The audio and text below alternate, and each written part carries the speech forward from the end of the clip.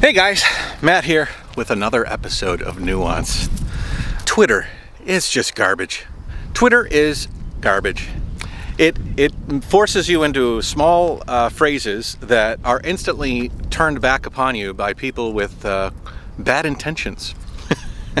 and recently I was embroiled in, in a conversation with a couple of people on Twitter. They were trying to say China and Chinese people are inherently racist and they proposed the example of that by saying, well, you go around China and you'll have people that will refer to you in public, just out of the blue, they'll point at, point at you because you're a foreigner and they'll say, Waiguoren? And in doing so, they're othering you. And the insinuation is they're a, a form of racist. And the example they gave is what if you walked around and you were in America and you said, look at that black person. Well, first of all, by giving that specific example, you don't understand what Waiguoren means, first of all. Your uh, intent is to label it as a color issue or a racism issue, secondly, and um, it's just disingenuous. because, uh, first of all, uh, typically in America, people don't just say black people typically they use some sort of a racial slur. Then it was turned upon me because I kind of called that out and they said, well, what if somebody walked up to your wife and said, look at that foreigner, screamed, they actually said screamed, and then screamed at your wife and said, look at that foreigner. Well, first of all, I have lived in China for uh, 10 to 15 years, you know, full time, like 12 years, and then off and on. 15 years. In that time, I have been referred to as a Waiguoren many times, probably thousands and thousands of times. I've even been referred to as a Laowai. and Laowai is probably a little bit more slang than uh, Waiguoren. But Y is outside, Guo is country, Ren is person. So Waiguoren means outside of this country's person. And uh, Laowai has a similar connotation, but it's a, a little bit slang. Laowai instead of Waiguoren. And so I've been referred to that many times. And maybe on a couple of occasions, it has been weaponized in a negative way. Where somebody said, Waiguoren, like at a bar, the guy's drunk. He uses that term in a derogatory way. And when that happens, yes, that is racism you know. And let me preface this. China is not devoid of racism. China has a lot of racism, as a matter of fact. Uh, they, they often are prejudiced and judgmental of black people. The He is uh, black, so they'll say He Ren, which means black person. And oftentimes they'll say it in a derogatory way. And I've heard it in conversation, and I don't like it. It's gross. Um, I grew up outside, outside of downtown Detroit. Um, and there is a, uh, there has been a very stark racial divide in Detroit between uh, people of color and, uh, and, and other people. And there has been, I've witnessed it, I've been in places where true judgmental racism has emerged, especially against people of color. And it's, it's dis disarming, it's unnerving, it's gross, it's disgusting, whether it happens in America or whether it happens in China, or whether it happens in Japan. As a matter of fact, there is a racism issue with Chinese against Japanese. They can't seem to let go of the atrocities that Japan committed in, in the Chinese mainland.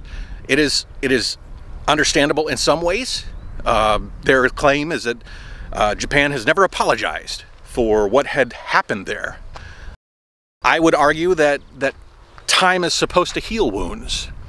And you could go to Japan today and you could hug a, a, fellow human being for who they are today and not the atrocities that were committed um, in the past. Now that's a big conversation. That's a conversation in America with regards to people of color and their enslavement in the past.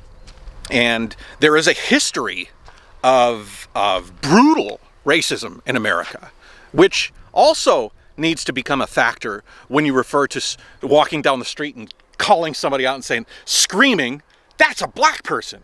Well, in America, that sort of uh, moment carries a little bit more weight, but not much more. That, that's that's a bad thing anywhere if it's if it's designed or said in a manner that is attacking, right? Um, but the argument was back and forth and back and forth, and my friend Winston came in, and he says, "No, Matt, you know, you're talking about othering, othering, and that's that's you know the Chinese cup of tea is othering, you know." And I'll tell you what, Winston, I'll give it to you. If you refer to somebody as a foreigner outright, you are basically referring to them as something other than what the majority of China is populated with. So, I'll actually agree with you on that. But you have to understand context. You have to understand that I have been called Waiguoren, Laowai, these sorts of things many times. Well, why does it not bother me? Why should it not bother you? Well, China is populated and has been populated with the majority of the similar looking people, Asians. Their hair color is very similar, their stature is very similar. Obviously, there's variations. But when Westerners come to China, they are different. And so if you see somebody different, you'll say, oh, that's a foreigner. They know it right away. They know I am a foreigner. I'm not from China. It's actually very difficult for a foreigner to get residency in China, and that's another issue. You could talk about that. Is there a is there a, reason that, that China does not allow foreigners to get residency permits very easy as opposed to other countries? That's an issue we can talk about. But I would always push back on the fact that and and I even push back on Winston because you have to understand the intention of what a person's trying to get at when they bring up this specific topic. When they say, in China, they'll call you a foreigner. Just like saying, hey, look, a black person. And that is completely not true. Okay, let me give you an example. And I won't even use the black person thing, because the black person thing is, that's about as uh, black and white literally an issue as you can possibly get because when somebody uh, says look at that black person they're attacking the person's actual skin color and that happens in China it happens in China. I've heard it before. But we're not talking about that. We're talking about the term Waiguaran. When you go and walk on the street of China and somebody looks at you and they say ah, Waiguaran they're saying that's a foreigner. And most of the time, 99.9% of my time in China, maybe even more than that, they have said that in a way that is like, wow, he's a, he's a foreigner, that's cool. It's like seeing a dragon in America because America is a melting pot. It's very hard for you to empathize with the act of being called a foreigner in America because all of us are a melting pot of different people. And so that's my point is that if you were in America and somebody othered you by calling you a foreigner, well, first of all, if they screamed at you and said, look at that fucking foreigner. We have a lot of examples of that in America these days. We have a lot of examples of that in the West. People on buses, people on, you know, uh, train cars, people on the street, violence against Asian Americans. That's true racism. That's true othering. And to think that that isn't a problem in America as opposed to China, or that it's a lesser problem in America because it's bred into the culture in China. Well, that's very disingenuous. I have family in China. I speak to a lot of people there. I do not see the anti-foreigner violence that I see against Asians in America. There's not, not, not, not a few days go by that there's not a, a, real physical violent attack on somebody who is Asian in, in America. And it's done for this specific reason that that person is Asian. And it's done for that specific reason that that person doing the attack hates Asians. Go back to your country. You know, there's, there's a million ways you can, you can deride a Asian person. Hell, they do it to Koreans when they want to do it to Chinese. They do it to, to, to, to Thai people when they want to do it to Chinese. They don't even know how to direct the anger.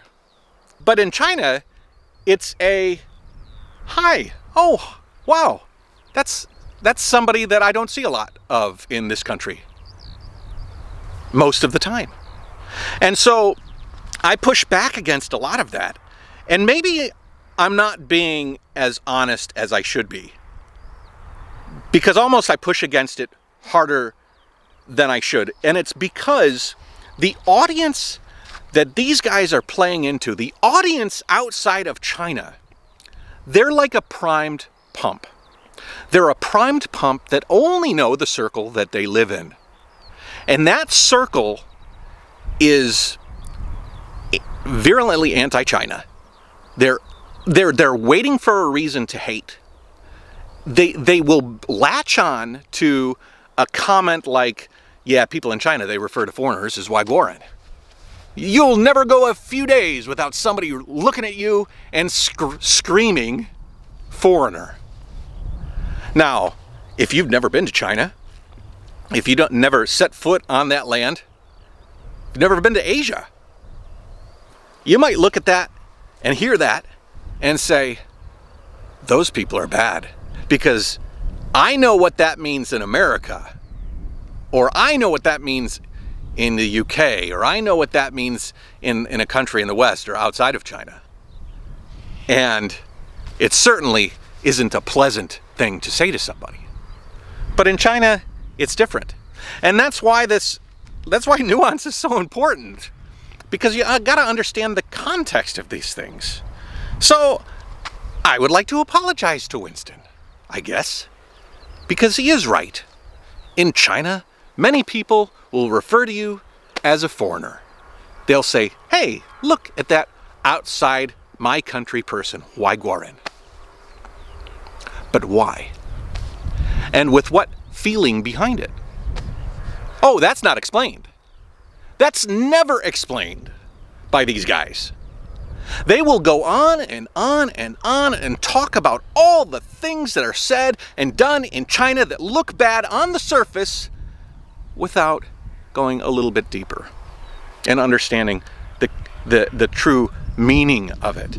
And understanding that being referred to as a foreigner in China, it's not designed in a form to hate. It's not meant to uh, antagonize or deride. It's just a title that they give to people that look a lot different than 99% of the people that they live around in China. Can it be weaponized? Of course. Is it weaponized? Most certainly. And when it is, it's racism. My friend in America, he's white. My friend in America, he's fucking white my friend in America. He's black. That black guy. I mean, can't you understand the difference between those things? So yes, in China, you will be otherized all the time. And it's no big deal. Because all they're saying is that you look like a person that doesn't, you know, isn't the, the majority of the people in China. It's sort of a fact, guys. And when you explain it like this, I hope you realize that you're not being insulted, you're not being dealt uh, an act of racism or something that you need to get hot and bothered about or, or pissed off about. Because that's what everybody's trying to do these days. All they want to do is piss you off.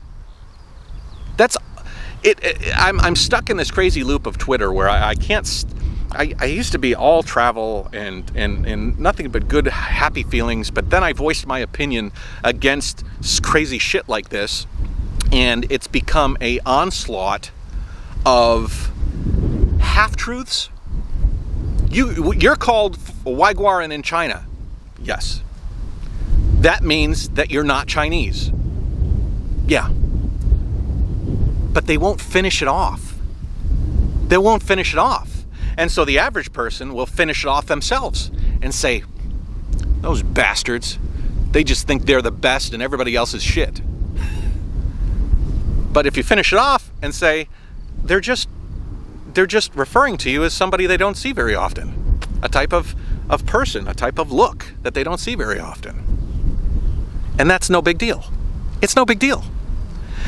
And so to even bring it up in the context of not giving it enough context, you let people who would ordinarily, like in the West, you will right away think that's othering. That's that's othering in a negative way. That's othering in a way that is bigoted and racist and evil and something we need to fight against, damn it, because that's what the end, end result is, right? We want to get angry enough to where we start judging each other. We've got to get frustrated enough that we get violent. I don't want to go there. So I push back against it. And then the black people reference comes out. And then Winston comes in with this holier than thou. You know, China is the most, you know, othering country in the world, you know, bar none. Okay. But give it some context. I mean, I might even say that just because China is so monogamous, right? Magnanimous, not magnanimous. It's so so it's it's a it's a culture built upon a majority of people that look very similar. So when a foreigner comes in, a Western foreigner particularly, people will look at that person and say, wow, look, that's a foreigner. That's it. That's all. People in American can't, can't understand that. People in, in some places can't realize that because they live amongst Asians and, and Africans and and Europeans and you know South Americans and Latin people and, and all sorts of different people, but China is not like that. Maybe not yet. Maybe it's moving in that direction. It certainly won't move in that direction if everybody's so knotted up and got their panties in a bunch and quick to judge. That's kind of why I created this channel and why I really want to continue this channel, especially when I get my van finished and everything, because I just see the, the road that we're going on built upon fomenting anger with false truths or slivers of truths that are bent in a shitty direction. I, I, I, got into another Twitter feud with somebody who shared a video that was that was I guess trending on on Weibo that was uh, men that dragged a woman out of a restaurant, Chinese guys, and beat this woman to a pulp and her friend. It was a gross video. These people beat a couple of innocent people. Maybe it was mob related. There is a like there is a mafia in China. There's an element of of, of violent thugs in China. Contextually, it's not everybody.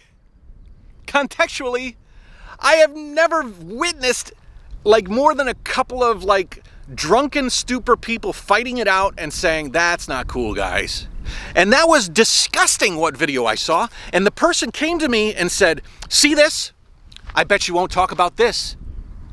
Talk about it in what light? Talk about it in what context? It's an evil act. Of course it's horrible. Violence against women, violence against anybody is horrible. People, they, they, they crave to hate. They crave it. And then, then the, and then these same people will say, I'm not against Chinese people, I'm against the Chinese government. I'm not against Chinese people, I'm against the Chinese government. Here's a video of Chinese people, a, a, three or four Chinese people beating up two Chinese women.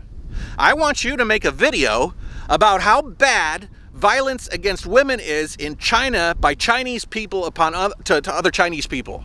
But I'm not I'm not angry with the Chinese government. I love Chinese people. I'm in in this case I am a Chinese person. I am a Chinese person, but I want you to take this uh, this one simple example, smear it across the entire culture of China, and label everybody in China violent. Without, without whataboutisms, Matt.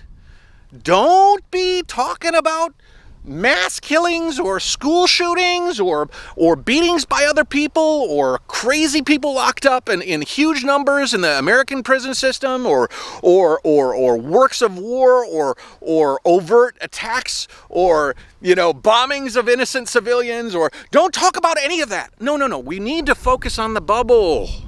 That one instance of China and make it all of China. And then I say, no, I'm not going to talk about that. Right because all you do is talk positive about China. No, I try to talk fairly about China, and that's what we're missing these days. That's the other thing. You never talk bad about China.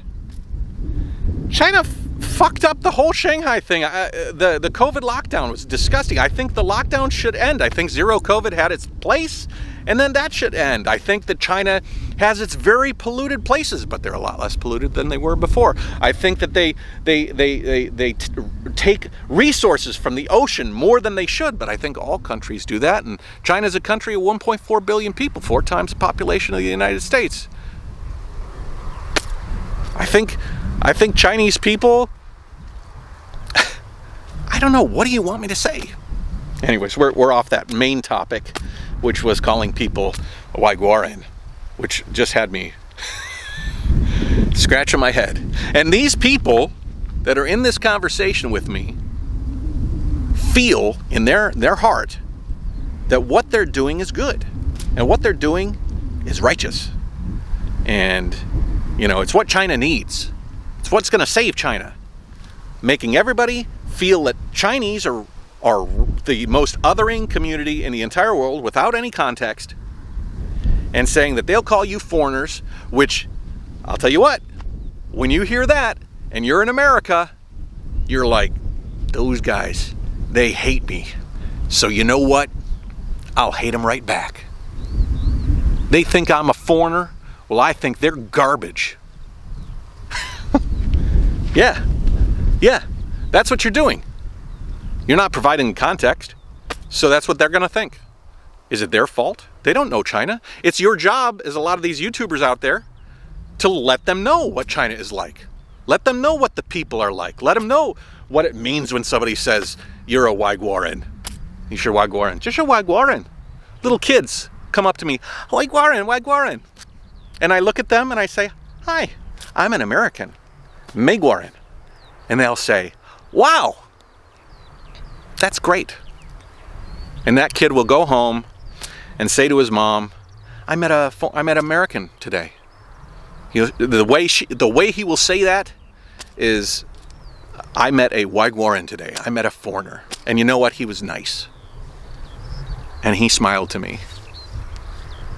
But if if one of the people who are fed this this hatred and this anger and all of these insinuations goes to China or sees a Chinese person on the road, they'll never go to China you're basically telling people the worst you know interpretations of what's happening in the, the, the, what they're going to be exposed to in China. You think they're going to go and see it for themselves to judge? To say maybe the world is, is a little bit more nuanced and maybe I shouldn't be angry at Chinese? No, no, no. They're going to go to the closest Chinese person that they see and say, These guys, deep in their hearts, they only think of me as a rotten foreigner. So, you know what? I'm going to bang them over the head with a bat. Because I don't like them either. I don't like those guys because they don't like me. That's fucked up, man. So yeah, in China, if you consider referred being referred to as a, a Waiguoren othering, yes, you will be othered all the time. Is it a bad thing? No. In fact, in many cases, it's sort of a compliment wow, that is, I met a foreigner today. That's so cool. That's up to you as a person interacting with the Chinese culture. But if you begin with the idea that it's a bad thing, you'll never even get to that point. You'll never even try to, you know, extend an olive branch out to people like that. And that's gross. And that's what this channel is supposed to push against. And that's what we need more of, understanding and and not looking at issues from that perspective. And this video has gone quite long. And we're in the Czech Republic. Look at this place. This is beautiful. this is gorgeous we are just this this is a really beautiful country. We're actually out here building a trike for me to take around the world and I, I, want to travel around and talk to people and learn about the world learn about different cultures and different interpretations of what what life is like and and and, and food is like and all of these things. And uh, I'm having a great time. Go to my main channel JaYoe Nation and, and follow some of that because it's really really cool. The videos coming out on my channel are very travel travel logish which is something that I've been sort of wanting to get back to and getting out into the world. I've been to Malaysia just recently, and now I'm in the Czech Republic. I'll be here for a couple more weeks. We're going on some amazing adventures on these sorts of uh, trikes and stuff with, with the company that manufactures them. It's it's a good time, and uh, and I'm absorbing the world as I travel through. So don't be afraid of it. Don't prejudge it.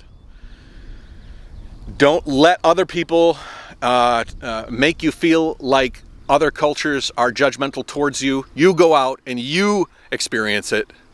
Realize for yourself these things. Don't listen just to me. Don't listen just to these knobheads. You know, you'll be better for it. Anyways, hey, why don't you like hit that little bell? hit the bell. Just hit it. I wish the bell would ding. Of course, that would be annoying, but let's hit the bell. And then, and then I'm gonna try and put some more of the content on here because I think we needed it. We really need it. I won't be so long-winded though, but 30 minutes is good enough. Hell, half of these people out there will watch a three-hour Joe Rogan podcast. You can listen to 30 minutes of me. Ah, oh, crazy world. Later, guys.